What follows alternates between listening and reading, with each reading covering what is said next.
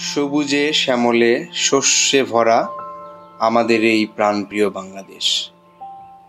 চারিদিকে শুধু সবুজ আর সবুজ। এ এক প্রকৃতির অপরূপ লীলাভূমি। আমরা এখন যে জায়গায় অবস্থান করছি, এটি নওগাঁ জেলার সাপাহার উপজেলা। একেবারেই সীমান্তবর্তী একটি উপজেলা এটি। এই উপজেলার পাশেই আমাদের পার্শ্ববর্তী দেশ ভারত। এখান থেকে হয়তো বা দূরে দেখতে পাচ্ছেন সেই ভারতের সীমান্ত বেড়া, অর্থাৎ তারকাটার বেড়া। সেখানে কিছু ইন্ডিয়ান বাড়িঘরও দেখা যাচ্ছে। মূলত এলাকায় যারা চাষি ভাই রয়েছেন, তারা এই বৌর মৌসুমে প্রচুর ধানের চাষ করেন। তার কিছুটা প্রমাণ আপনারা দেখতে পাচ্ছেন, শুধু সবুজ আর সবুজ। অর্থাৎ সবুজের এক বিশাল সমারোহ এটি। যে কোনো মানুষ যদি এখানে আসে তার চোখ জুড়িয়ে যাবে। পাশে একটি খাড়ি দেখতে পাচ্ছেন। অর্থাৎ পানি প্রবাহিত হচ্ছে এই খাড়ি দিয়ে।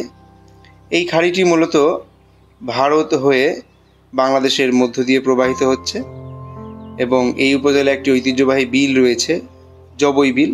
সেখানে গিয়ে পানি পড়ছে। সেই বিল থেকে আবার পানি গিয়ে পড়ছে পুনর্ভবা নদীতে। মূলত এই এলাকায় যে ধান চাষ হচ্ছে এই ধানের জন্য যে সেচ প্রয়োজন, এই সেচের সরবরাহ দেয় এই খাড়িটি। অর্থাৎ এই খাড়ি থেকে পানি নিয়ে এলাকায় বোরো ধানের সেচ দেওয়া হয়। সামনে সোলার ইরিগেশন সিস্টেম দেখতে পাচ্ছেন। অর্থাৎ এই ইরিগেশন সিস্টেমের মাধ্যমেই কিন্তু এই খাড়ি থেকে পানি নিয়ে বোরো ধানের সেচ দেওয়া হয়।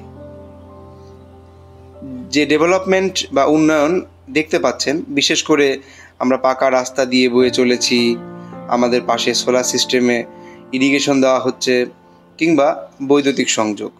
এর কোনো কিছুই কিন্তু আজকে থেকে বছর দশেক আগেও ছিল না। এই সব কিছুই সম্ভব হয়েছে বর্তমান কৃষিবান্ধব সরকারের সদূর প্রসারী চিন্তাভাবনা আর মহৎ কিছু পরিকল্পনার কারণে।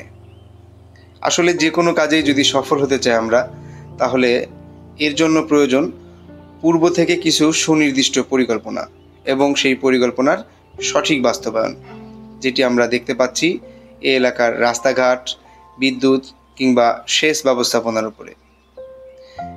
আমাদের যারা চাষি ভাই রয়েছেন, তারাও কিন্তু পিছিয়ে নেই। তারা দিন দিন যে সমস্ত নতুন নতুন প্রযুক্তি আসে, সেগুলো গ্রহণ করেন। নতুন নতুন বীজ আসে বা জাত উদ্ভাবন হয় সে সমস্ত জাত গ্রহণ করেন, সেগুলো চাষাবাদ করেন। আর চাষাবাদ করেন বলেই কিন্তু আজ আজ আমরা খাদ্যশস্য উৎপাদনে স্বয়ংসম্পন্ন হয়েছি। এই যে দেখতে পাচ্ছেন, এই এলাকায় একসময় শুধুমাত্র একটি ফসল চাষ হতো। এখন কিন্তু এখানে বোরো ধান হয়, আমন ধান হয়, আবার সরিষাও হয়। বিশাল এক কৃষির রূপান্তর এই এলাকায় আসলে আপনি দেখতে পাবেন। এখানে যেমন ধান চাষ দেখছেন, ঠিক উঁচু এলাকায় গেলে আপনি দেখতে পাবেন সেখানে আম বাগান। এলাকাকে বলা হয় আমের স্বর্গরাজ্য। এখানে প্রচুর পরিমাণে আমের বাগান রয়েছে, আপনারা সেটাও দেখতে পাবেন। সকল চাষি ভাইদের কাছে একটা বিনীত অনুরোধ থাকবে, আমরা কৃষিকাজ করতে গেলে অনেক সময়, অনেক সমস্যায় পড়তে হয়, বিভিন্ন রোগ বালাই দমন নিয়ে চিন্তায় পড়তে হয়। বিনীত অনুরোধ করব, যদি কোনো সমস্যায় পড়েন কিংবা যে কোনো কৃষি পরামর্শের জন্য আপনি অবশ্যই আপনার নিকটতম উপজেলা কৃষি অফিসে যোগাযোগ করুন অথবা আপনার ইউনিয়নে বা ব্লকে যে উপসহকারী কৃষি অফিসার রয়েছে, তাদের সাথে যোগাযোগ করুন, তাদের পরামর্শ নিয়ে কৃষিকাজ করুন, তাহলে দেখবেন আপনি যে স্বপ্ন বুনছেন, সেই স্বপ্ন বাস্তবে পরিণত হবে। আপনাদের অনুপ্রেরণা, আমাদের স্বপ্ন পূরণ অঙ্গীকার।